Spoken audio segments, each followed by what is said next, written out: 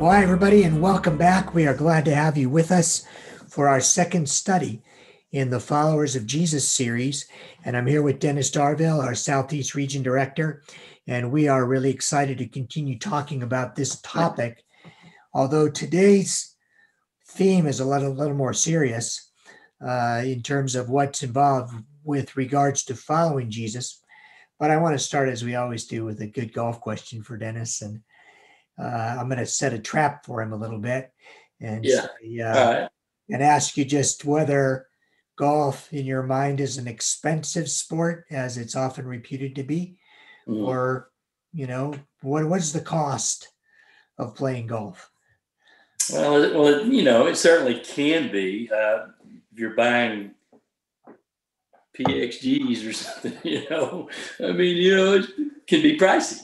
Yeah, On the other hand, you know, if you're if you're frugal and good steward, it doesn't have to be. You're right. Uh, plus, having been in the golf business for all those years, I know what it takes to design a product, develop that product, uh, go produce that product, manufacture that product, bring it, landed duty paid into our country if we're producing it somewhere else, and then marketing that product and getting that product distributed. Yeah, I mean, there's a lot of cost in it. So I, uh, there might be some scoundrel out there, you know, gouging people, but on the in the main or on the whole, I think it's fair. it's fair what about the cost uh, not in terms of material cost but what if i want to be a good player there's a Uh, kind of cost there isn't there Yeah.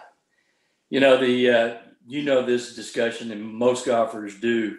What was Hogan's secret? oh yes Everybody's been chasing that forever, right? I, the best answer I ever heard was Trevino said he dug it out of the dirt. yeah That was his secret. And of course his point was that it was practice. That was the secret.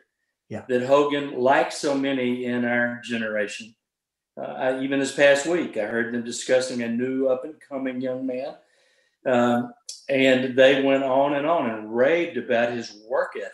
Mm, So if you think about cost in that sense, a real commitment of time and energy and study and dedication, and to our point, sitting under a wise teacher, following somebody, training you, I think there are lots of costs. yeah yeah there are a lot of costs absolutely let's talk about the cost of following jesus and this is a, a, a secret sometimes that evangelists hold on to uh, the work of the evangelist a lot of time is hey i want to get as many people as i can to walk this sawdust trail as Right. say you know to, to come forward to receive christ and yet jesus himself said nobody builds a tower without thinking about the cost Right. and the same is true for following me. There's going to be a cost. And you need to think about that cost before you just kind of jump on the Jesus bandwagon. What does that bring to mind for you? Yeah, that's that is a topic worthy of our deepest concentrations and Mm. focus and thought because it is prevalent in Scripture, uh, and especially in. I mean, this is one of the primary reasons we have the Gospels. Yeah. Uh, Jesus is saying, "Follow me," and for instance, in Matthew Gospel, a, a gentleman comes up to Christ and says, "I'll follow you wherever you lead." Right. And the first thing Jesus does is say, "Well, okay, but you got to let the dead bury the dead bury the dead," because the gentleman was qualifying. He was laying down the terms of his commitment to follow Christ. He said, "I got to go home, take care of some family things first. I need to. I've got a farm. I need to go home, take care of some matters there. I've got some business matters, and once I get those straightened out, well, then he was trying to dictate the terms." And Jesus, it almost comes off harsh, but if you understand the context, you'd see the wisdom that Jesus says, no, no, if you're going to follow me, you follow me on my terms. Yeah. That's uh that's not something we hear preached very often. Um, but it's one of those things that is so important because we can't have an easy believism We can't have this thing that says, you know, really all you have to do is kind of get the stamp in your passport and you're off to heaven. It's all Christ getting to heaven. But there's a lot of life to live before getting to heaven. And Jesus talked about that too. How do you live your life? What's it Exactly. take to get there? And uh, and the uh, the apostles too, of course, did not pull punches.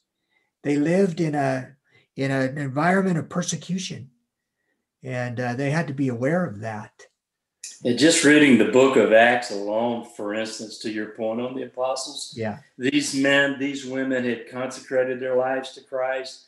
Christ is now in heaven at the right hand of the Father. And now the church is growing. And at every step, they're meeting opposition. Many of these men and women gave their uh, their very life. They were martyred. In fact, the very word to be a witness for Christ uh, in the original is maturo, which means mar- it's where we get the word martyred Wow. from. wow, yeah. Well, thank you, Dennis. This is, uh, I know, a difficult topic, and we'll unfold it a little bit as we go forward. Some of the ways that we might uh, be asked to sacrifice on Christ's behalf, but um, it's a big discussion for now, I'm sure, and I think our our folks will Very important. will yeah find it uh, very valuable. Thank you all. Great to have you with us, and we'll see you next time.